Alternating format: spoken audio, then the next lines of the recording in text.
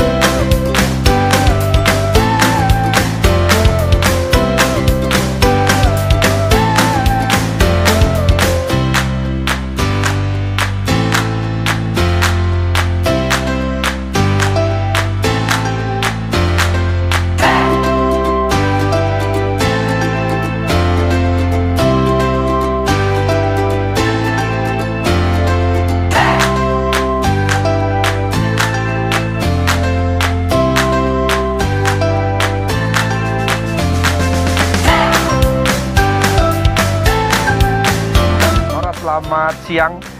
Hari ini kita ada di perkampungan Batak Sigulati, Kabupaten Samosir. Tepatnya di Kecamatan Cianjur Mula-Mula. Saya Pranus Tanggang, Giring Berita. Hari ini ada momen yang menarik dari kegiatan Samosir Lektoba Ultra 2022. Kegiatan yang sudah dilakukan Pemkap Samosir uh, beberapa waktu terakhir dan ini adalah kegiatan yang keenam. Nah, langsung saja uh, Pak Bupati ini ada kegiatan yang luar biasa apa maksud daripada tujuan kegiatan ini uh, ke depannya? Ya, baik. Jadi ini ya setelah kita mungkin vakum 2-3 tahun kita menghadapi situasi pandemi Covid. Iya.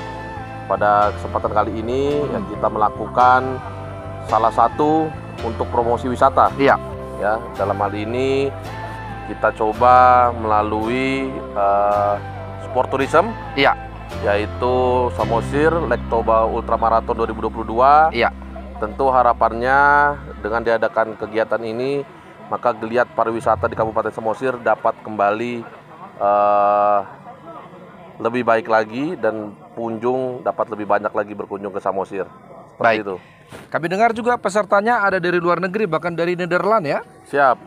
Tadi kurang lebih ada sekitar uh, lima negara ya ada dari uh, Jepang, China, uh, Belanda, uh, Malaysia dan lain sebagainya. India, ya, India, baik, ya. baik. Nah, uh, secara umum Pak Bupati apa uh, sambutan atau uh, apresiasi daripada para pelari yang ikut hari kegiatan hari ini? Uh, ya tadi uh, saya dengar dari para uh, peserta ya cukup menikmati iya. adanya kegiatan ini. Iya. Mereka melihat iya. Panorama yang indah dan rutenya katanya cukup uh, menarik dan ideal ya karena dia tidak hanya uh, tanjakan tapi dia ada turunan, ada uh, datar. datar dan juga ada naiknya dan itu semua ideal untuk uh, maraton pada kesempatan kali ini. Bahkan tadi uh, ketika kita uh, anda menuju ke sini, masyarakat di sini sama Samosir ini kita sangat ramah menyambut mereka dan meriah menyapa untuk tetap semangat semangat semangat ya. seperti itu ya. Ya tentu masyarakat Samosir sangat ramah. Ini sangat mendukung untuk pariwisata ke depan tentunya. Kita harapkan demikian ya terlebih tadi uh, sekilas juga saya lihat banyak yang bersuah foto Iya. Ketika melaksanakan ultramaraton ya semoga ini dapat membawa dampak bagi pariwisata Samosir untuk lebih baik lagi dan semakin banyak wisatawan yang berkunjung ke Samosir. Baik satu yang hal yang yang menarik adalah adanya salah satu wakil bupati di Sumatera Utara yang mengikutinya ya. Ya, tadi ada salah satu peserta dari wakil bupati Serdang Bedagai ya. ikut dalam kegiatan ya. kali ini. Demikian. Apa tanggapan beliau kepada Pak Bupati sama kepala daerah nih? Ya, beliau cukup kagum ya Tadi ya. sudah diungkapkan juga beliau cukup kagum lihat panorama yang ada di Kabupaten Samosir dan beliau mengatakan juga sepanjang lintasan cukup bersih. Ya. Yaitu salah satu modal ya. untuk uh, para peserta semakin nyaman Ya. mengikuti kegiatan ini. Iya. Ah, saya ingin buku pada Bu Kadis. Bu Kadis tadi ada ini request dari apa? Dari dari peserta. Kalau boleh pesertanya ke depan jangan dibatasi. Memangnya hari ini peserta cukup dibatasi Bu ya? Diskusi kita dengan event organizer karena sudah dua tahun vakum Iya. mengawali dibatasi hanya 500 peserta. 500 peserta ya. Tahun depan akan dibuka lebih banyak lagi jumlahnya. Lebih banyak jumlahnya lagi ya karena banyak orang pingin masih ingat ikut tapi ternyata karena dibatasi akhirnya membatalkan niatnya ya. Baik ini luar biasa sambutan daripada pa- para pelancong atau wisatawan dari luar negeri. Apa harapan Bapak atau pesan Bapak kepada masyarakat Samosir untuk ke depannya bagaimana menyambut wisatawan di Samosir? Ya tentu terutama kepada seluruh masyarakat Samosir ya mari kita sambut para wisatawan dengan ramah ya senyum sapa salam itu diutamakan.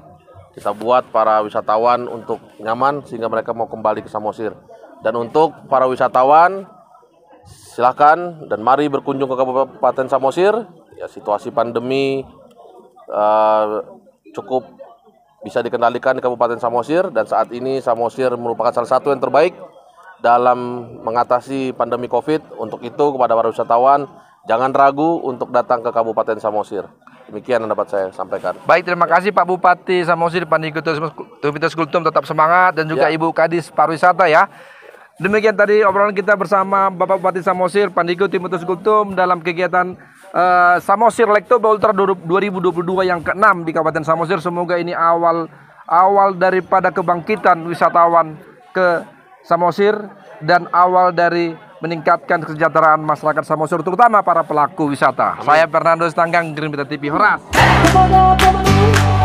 kategori Lina ke Putri. Laudiati. Pemenang